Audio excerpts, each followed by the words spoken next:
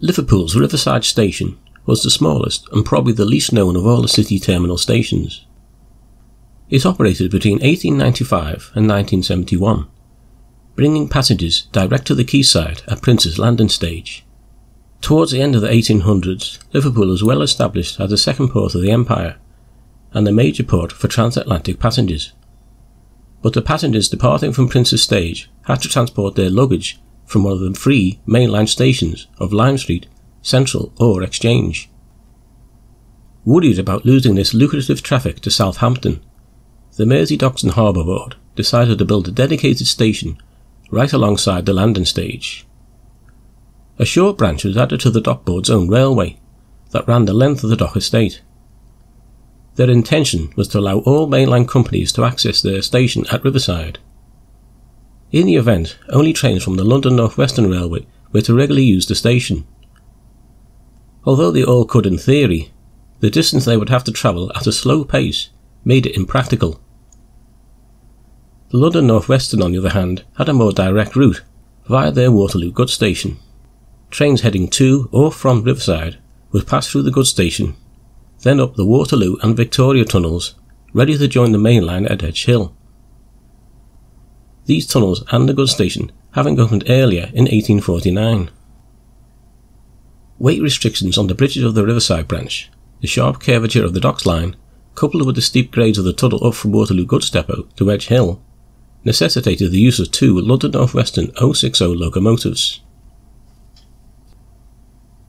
On the way to the docks line, the line briefly sees daylight at Byrom Street. This is where the two tunnels split. Before Riverside was opened, the Victoria Tunnel, heading to Edge Hill, had been cable hauled up and gravity worked down.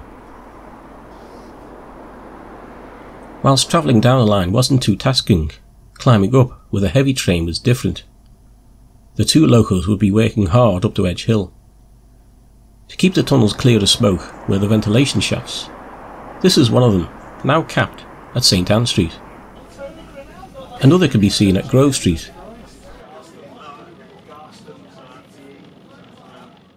and a third at Shenstone Street. At Edge Hill, the trains would enter the tunnel here. Alongside is Waterloo Tunnel mouth box, with its 25 lever London North Western tumbler frame. This two tunnel line ends at Pall Mall, where the London North Western Waterloo Goods Station was situated. Trains to Riverside would thread their way through the goods station and onto the Dockboards Railway. This goods station was closed in 1970. All that remains now is this outer wall. Occupying part of the yard site now is one of the ventilation shafts of the Kingsway Mersey Road tunnel. The trains to Riverside would thread their way past warehouses and quaysides, over Prince's Dock Swing Bridge, and into the station. The station itself had two platforms, the one on the landward side was an island, giving three platform faces in all. Between the main platforms were three tracks, the centre track being the locomotive release road. Passengers heading to or from the ships then had a direct covered way onto Prince's landing stage. Obviously more convenient than having to pass through the city streets, loaded with their luggage. Trains to the station didn't run to a timetable, but ran to coincide with the ships arriving at Liverpool. These boat trains proved popular and were to give Southampton serious competition, both with passengers and mail. At the start of the First World War, passenger numbers dropped, but this was to turn around when America entered the war. After the war, passenger figures returned, with larger passenger liners, Riverside, and the railways in general saw their golden era but the issue of larger mainline locos not being able to access Riverside was still a problem. When the Second World War broke out, it still hadn't been resolved. The war once again affected the station, but the passage of troops saw it remain busy. Bridge strengthening finally came in 1950, but passenger numbers were beginning to show a decline. This decline wasn't helped by the rise of air travel in the 60s. By 1970, trains using Riverside were few and far between, and the Mersey Docks and Harbour Board made a decision to close the station. The very last train, a troop train, departed on the 25th of February 1971. The station building was used by the Isle of Man Steam Packet Company until the early 1980s, but the platforms, now filled in, became a car park. The station was demolished by 1990, and modern offices were built on the site in the early 2000s. Some of the trackwork of the station still survives today, alongside Princes Parade.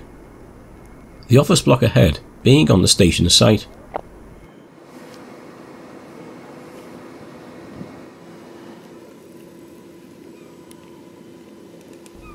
Back in the early 70s, the line up to Edge Hill, or a small section at least, nearly became part of the Merseyrail system.